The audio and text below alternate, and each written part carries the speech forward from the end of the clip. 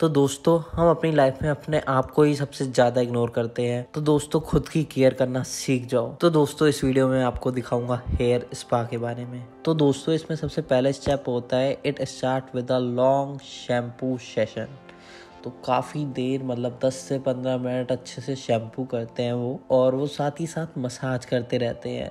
जिससे जो हमारा स्कल होता है ना, वो काफ़ी अच्छे से क्लीन हो जाता है, और जो बालों में डर्ट होती है वो सब क्लीन हो जाती है।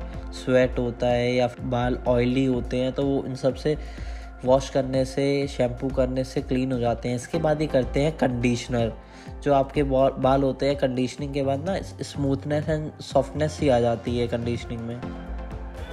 ये कौन सा प्रोडक्ट है? लोरियल लोरियल का। दोस्तों हेयर वॉश और कंडीशनर के बाद अब सबसे इम्पोर्टेंट स्टेप आता है। Second step applying the hair mask या फिर आप कह सकते हैं हेयर स्पा क्रीम तो ये हमारे जो हेयर होते हैं, उनको नरिश करता है, रिपेयर करता है, उसमें स्ट्रेंथ डालता है और उसको स्मूथ एंड सॉफ्ट बना देता है, जिसके लिए हम ये स्पा करवा रहे हैं। तो ये एक मेन प्रोडक्ट होता है। आप लोरियल से लेके किसी भी कंपनी का ऑप्ट कर सकते हैं, वहाँ ऑप्शन होते हैं हेयर स्पा के। तो वो आपके हेयर में एक मास्क की तरह अप्लाई कर दिया जाता है। अब आता है थर्ड स्टेप जो सबको पसंद है रिलैक्सेशन ये जो मैंने फेस में करवा रखा है, उसकी मैंने एक अलग वीडियो बनाई है. टीटन है और फेशियल है. सबकी वीडियो आएगी. आप इस वीडियो को प्यार दिखाओ. तो अब मैं बता रहा हूँ, अब हमें करना होता है रिलैक्सेशन आराम से आधे घंटे तक, चालीस मिनट तक छोड़ देते हैं ये.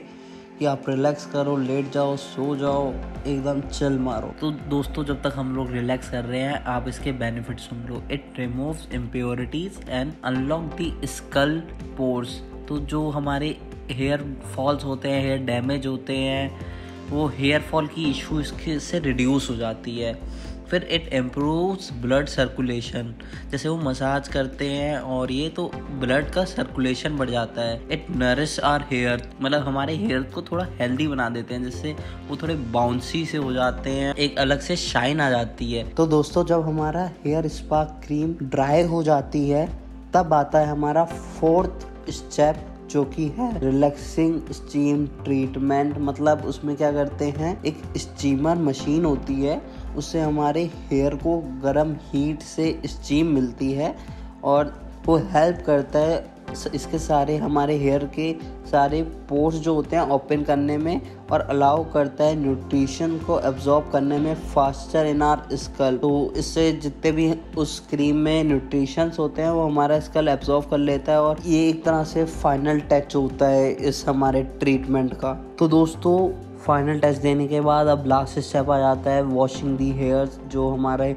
हेयर में अभी स्पा लगाया था, उसको अच्छे से क्लीन कर देते हैं और टावल से आखिरी में पोच देते हैं और ड्राई करके आपके बाल सेट करके दिया जाता है। होप आपको वीडियो पसंद आई हो, आपको वीडियो यूज़फुल लगी हुई हो।